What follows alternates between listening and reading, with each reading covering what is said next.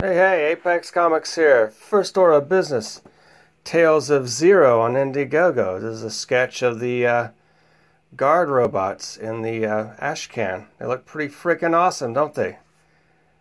Yes, they do. Except one of his arms is going to have a uh, a gun, like a like a laser gun protruding out instead of this arm.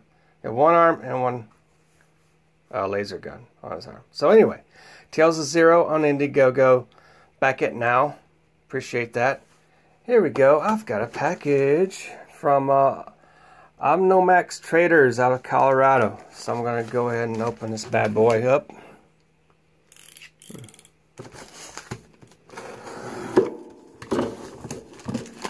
Let's open this up. Today, today, today. Don't let the package get in my way. Especially there's a ton of tape. I was watching comics, the com, uh, was it the comics bear? He goes, I hate tape. so if you haven't checked out Comics Bear, uh, subscribe to him. He's funny. Yeah, but I need more subscribers too. Not to toot my own whistle. Yeah, okay. There you go. Oh, did I get a product in here, or is this just a, is this a dang, is this a prank? I better not be pranked. I would be very angry.